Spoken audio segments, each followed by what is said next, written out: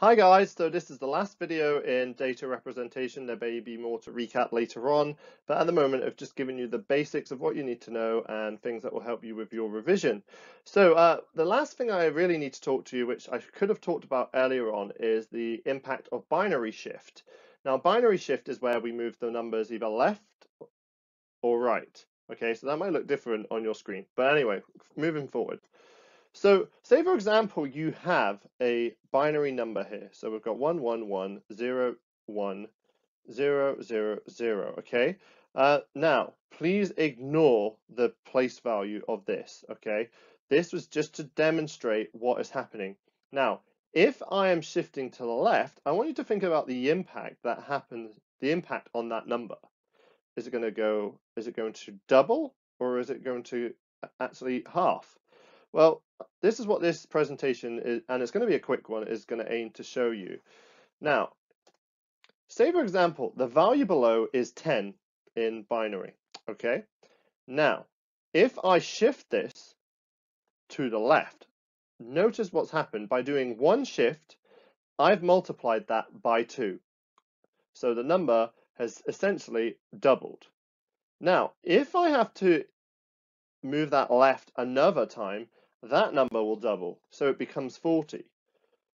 So I want you to think about the power that is moving that left. All right. So notice if I move numbers left, if I move, if I have a binary shift to the left, essentially each time I've moved it, I've doubled it. So notice the pattern. As it increases to the left, it doubles.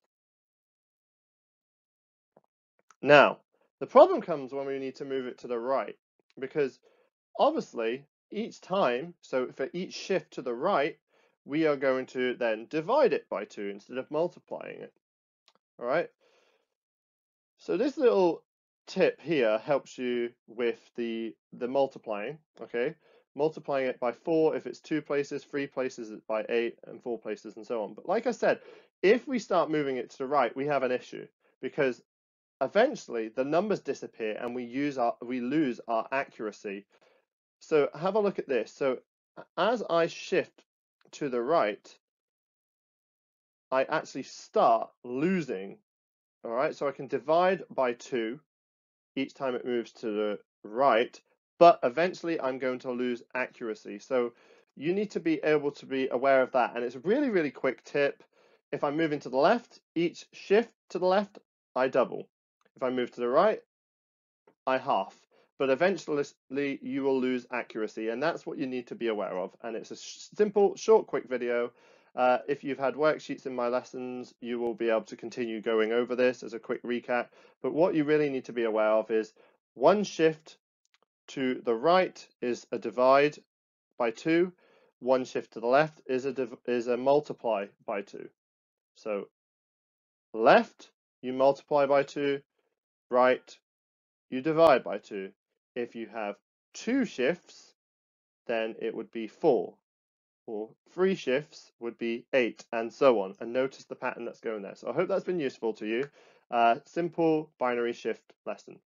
Thank you.